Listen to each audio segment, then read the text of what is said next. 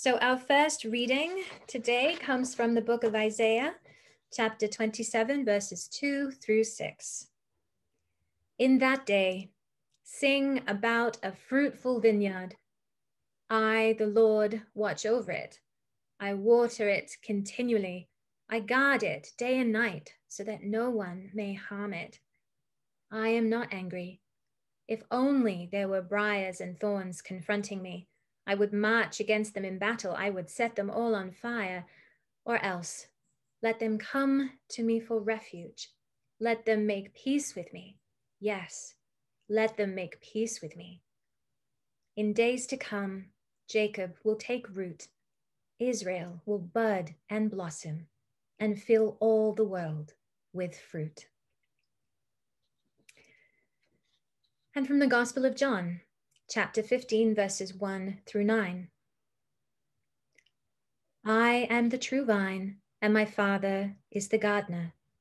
He cuts off every branch in me that bears no fruit, while every branch that does bear fruit he prunes, so that it will be even more fruitful. You are already clean because of the word I have spoken to you. Abide in me, as I also abide in you. No branch can bear fruit by itself. It must remain in the vine. Neither can you bear fruit unless you abide in me.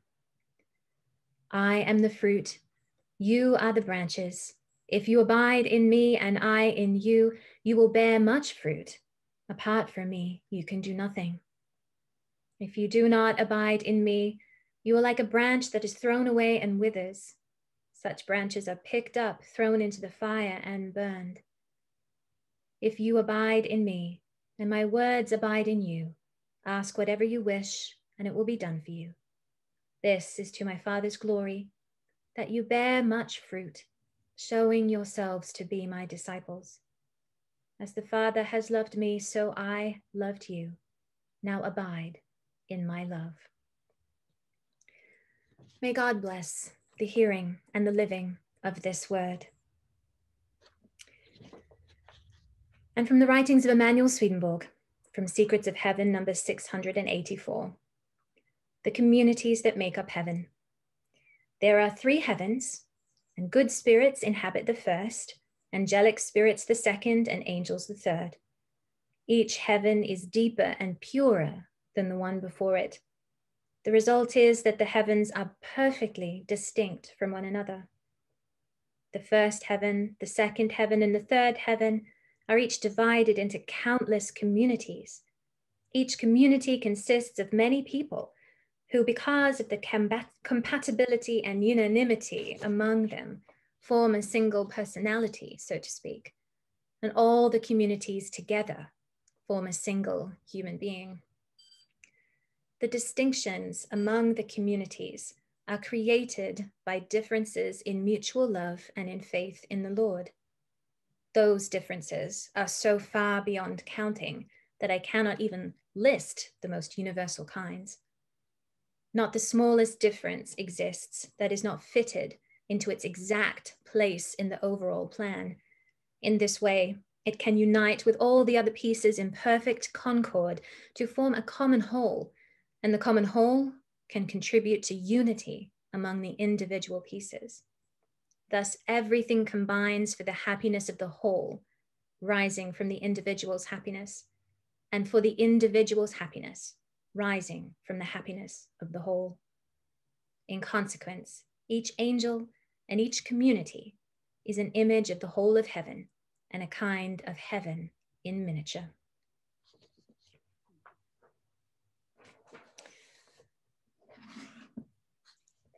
So, my friends, Jesus used a lot of different metaphors to try to communicate the nuances of spiritual reality.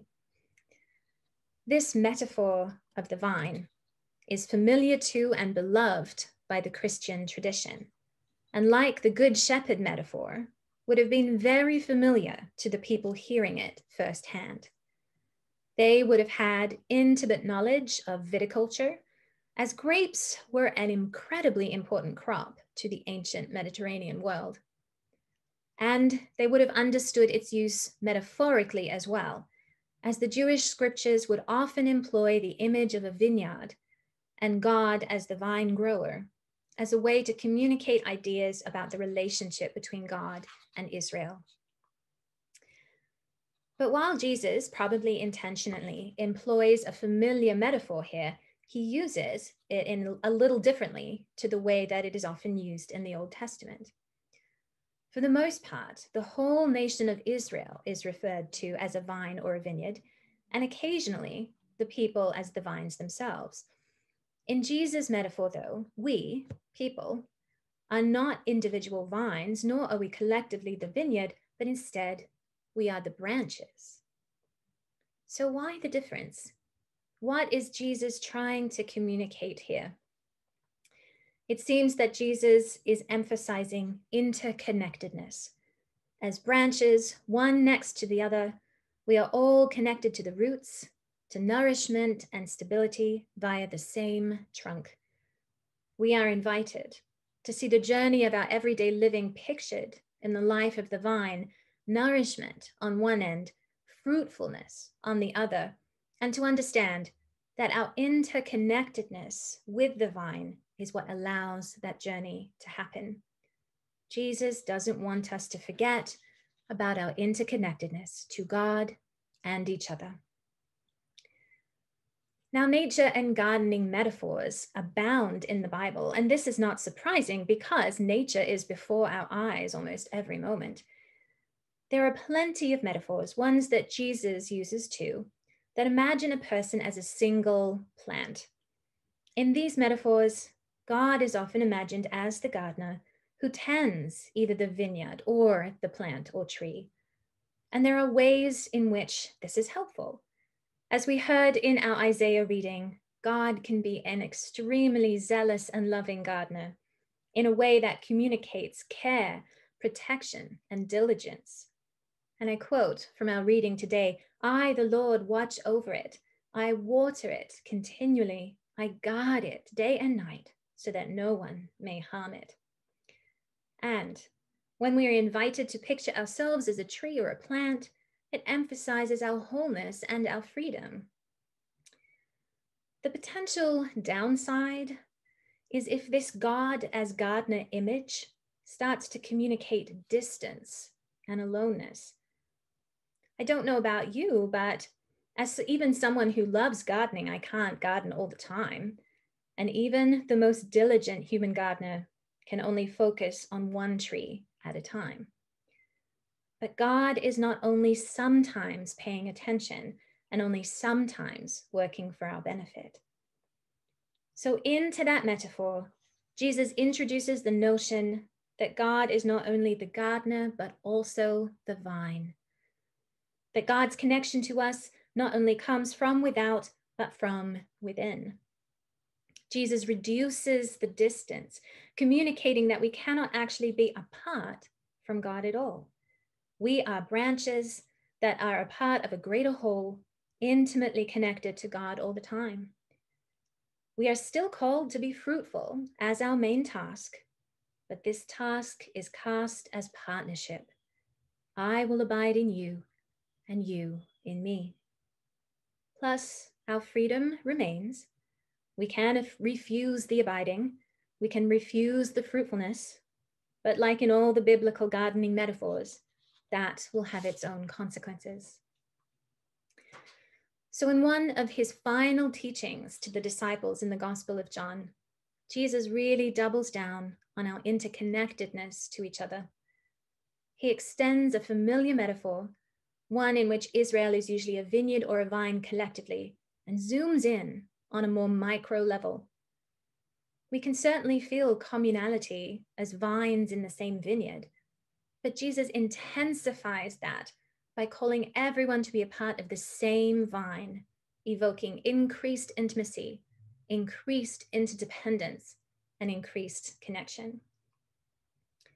And this way of understanding our relationship to each other is reflected in the way that Swedenborg talks about heaven as we heard in our reading today. Swedenborg also writes Since that is what heaven is like, No angel or spirit could ever have any life without being part of some community, without joining in harmony with many others. Community is simply harmony among many. No one's life is ever isolated from the life of others. So, yes, we are all individual vines growing in our own contexts. And there will also be an individual aspect to our spiritual lives that requires this singular view. But it is also true that, as the quote says above, no one's life is ever isolated from the life of others, not existentially and not spiritually. We human beings are a communal people, not simply because we enjoy that, but because this is the way that spirit that is constantly flowing into us naturally organizes itself. So, I would like then to bring this forward into a consideration of the practice of communion, which we will share together after this sermon. The Swedenborgian tradition has often emphasized the individual aspect of communion. And we can see that from the fact that even its traditional name in the church, Holy Supper, right, is that name rather than communion, which has the same linguistic root as community or commune. The heart of our whole tradition is the importance of each person's lifelong spiritual journey. And the Holy Supper is a spiritual meal, one that provides nourishment for that journey. The bread corresponds to God's goodness and God's love flowing into us, giving us life. The wine corresponds to God's truth and God's wisdom, ever available for our enlightenment and growth. And when we eat these elements, taking them into our body, this corresponds to our openness to God's love and wisdom and to our commitment to bring them into our everyday lives. In the end, in this process, we can only approach God as ourselves, as one person. In freedom, we offer our essential vulnerability, accountability, and devotion, and no one else can do that for us.